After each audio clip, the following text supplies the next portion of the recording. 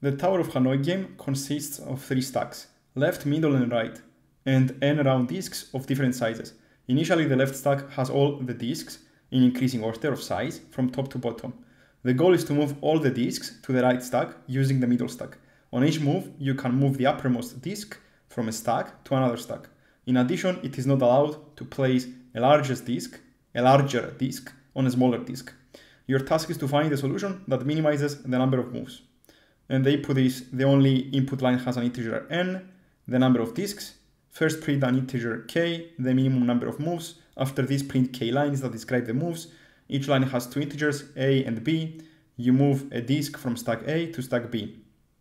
The constraints are that n goes up to 16, and from the sample example here, we can see that uh, the towers uh, or the stacks are essentially numbered um, with numbers from 1 to 3. So 1 for the leftmost, 2 for the middle, and 3 for the rightmost uh, stacks. Alright, so if we explore the general case uh, of this problem, we don't really have many options regarding a strategy so that we get a minimum number of moves. Uh, it is actually, the solution is actually deterministic, okay? Uh, and that will require from us to define a recursive function, okay?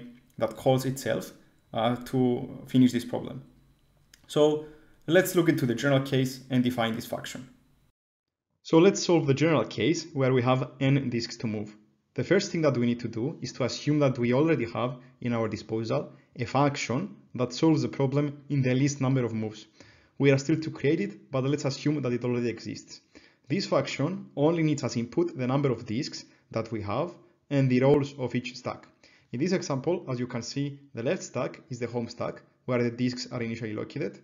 The middle stack is the helping stack, which we can use to help us cope with the disk moving rules. And the right stack is a destination stack, where we need to move all our disks to. Alright, so the first thing that we notice is that the largest disk is located at the bottom of our stack. So we need to free this disk. To do that, we need to move the top n minus 1 disks. So let's explore the different ways in which we can, we can move them. We can move some of them to the helping stack and some to the destination stack. Now the largest disk is free to move from the home stack, but it would have nowhere to go because the top disks in the helping and the destination stacks are smaller than it is. Okay, so let's try moving all of the smaller disks to the destination stack instead. Now the largest disk can move to the helping stack since it is free, but this would be inefficient because the largest disk at the end of the day should reach the bottom of the destination stack. That won't be possible unless the destination stack is completely empty because otherwise any other disk that sits there will be smaller than the largest disk. So by moving all of the smaller disks to the destination stack, we have accomplished nothing but executing extra moves.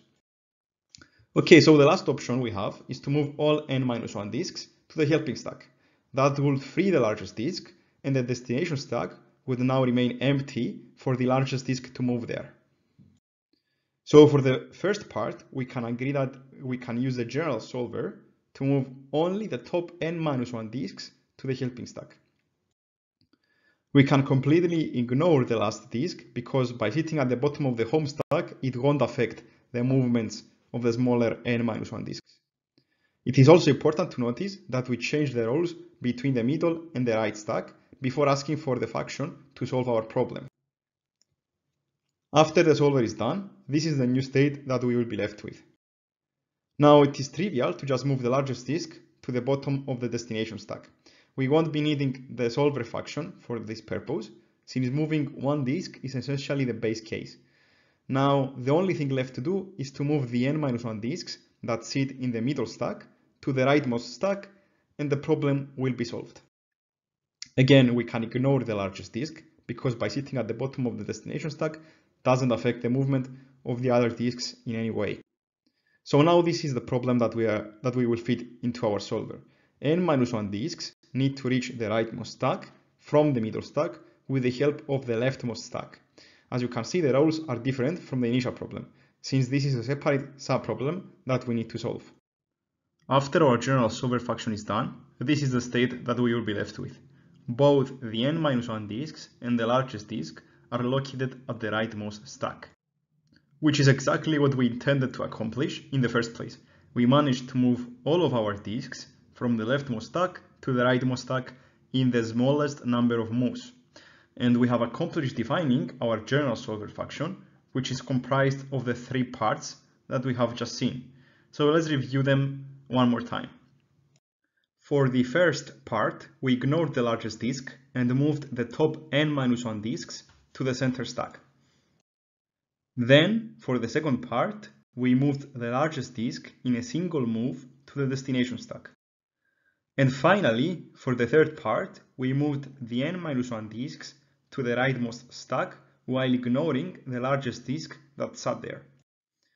And thus our problem was solved. So let's go ahead and look at the C++ implementation for this problem. Alright, so for the implementation, here I'm reading number n, okay? And here I use my function, okay, which I call recurs. And how this function is defined is to take the number of disks, the index uh, that of, of the stack that we are gonna move from, so the home stack, as we have seen uh, before in the presentation, uh, the index of the destination stack, so where, where to, where are we moving to, um, and the index of the helping stack, which I call with. So we're moving from this stack to this stack with this stack. Okay, that's the idea of the uh, name, uh, the names I used here. Okay.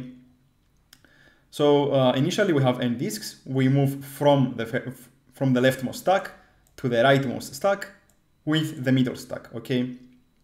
And here this is just the output of the solution. Okay. I'm gonna put uh, all of the moves that we're gonna use um, into this uh, sol vector, solution vector. Okay uh, which has pairs of integers. Uh, the first uh, part of the pair is the, the stack that we are starting from, and the second part of the pair uh, is the stack that we are ending, uh, that we are reaching, okay? And okay, let's look into this function here, okay? So how, how did I implement this? here, this if statement just takes care of the corner case where n equals to zero. So if we have no disks, we simply return from the function. We don't need to add any moves into our solution, okay? Then we are gonna essentially execute the three parts that we have seen in the presentation. First, we move the top n minus one uh, disks from the stack that we are currently located on, so fr from the from stack, okay, essentially, with the help, uh, uh, excuse me, uh, to the helping stack, essentially, okay? So from the left, in, in the initial case, from the leftmost stack, to the middle stack, okay? And the destination stack that we had uh, in the initial uh, definition is going to be used uh, for help, essentially, okay? We just use that stack uh, for help. Uh, so this is the first part of our uh, move. The second part is the trivial one, which is just moving the single disk from the home stack to the destination stack, okay? So we add this into our solution. And then for the last part of our solution, we just move the n-1 disks from the helping stack, which in the initial case is the middle stack, uh, to the destination stack now, which is the destination stack we had initially, essentially. Um, and uh, the from stack now, so the leftmost uh, stack in the initial uh, configuration, uh, is going to be used just uh, for help, okay? And as you can see, the roles will essentially change uh, as we move uh, into uh, each sub-problem. Okay, so the question here is, um, what is the complexity of our, of our solution, okay? And since we are just recursing, and each time we enter the function, we are calling itself two times. You can pause the video and guess the, the complexity here. Okay, so the answer is that the complexity is uh, 2 to the power of n, okay? So n is the number of disks, 2 to the power of n, so 2 to how many 2 to the power of how many disks uh, we have uh, will give us the complexity, okay? Because uh, for every state, uh, n is decreasing by 1 when we call the substates. And for every state, as I said, we uh, spawn two other um, sub, uh, sub cases, okay? Um, and if you draw the binary tree, you will see that um, the depth will be equal to n, and we know that for a binary tree with a depth of n, the number of uh, nodes that we have essentially uh, will be um, will, will, will actually give us a complexity uh, of 2 to the power of n. Okay, so that's pretty much the, the solution. If you got stuck on this problem, I hope this uh, cleared it for you uh, and, and, helped you understand how uh, this Tower of Hanoi game essentially has a deterministic solution. Okay, it's, uh, you don't really need to form a strategy to solve this um, to solve this problem. Okay, uh, if you make the simple observations that we did during the presentation, you will see that we are forced. the, the moves that we're going to take are forced to actually achieve uh, the lowest number of moves. So uh, I hope this helped you. If it did, leave a like to the video, subscribe to the channel, and I will see you in the next one.